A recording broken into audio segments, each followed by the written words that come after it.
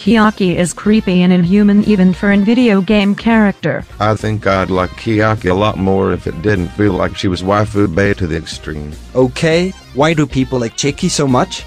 Everyone has such a huge obsession with her, but I don't understand why. I mean, don't get me wrong. I did like her, but not as much as other people did. I kind of thought she was kind of a boring character, but she did have her kawaii moments.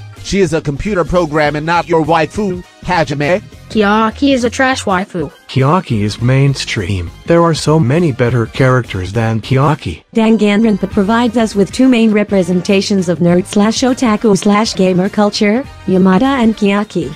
I think it's safe to say that absolutely no one likes Yamada. But here's the thing, Yamada is a more nuanced character than Kiyaki. I hate Kiyaki Nanami because she gets in the way of Komahina. Does anybody else agree that Chieki is one of the worst characters in this game?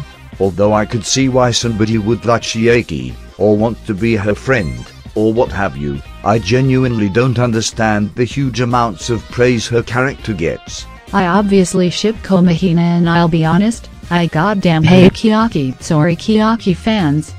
Plus I don't think that she would someday be together with Hajime even if she was still alive.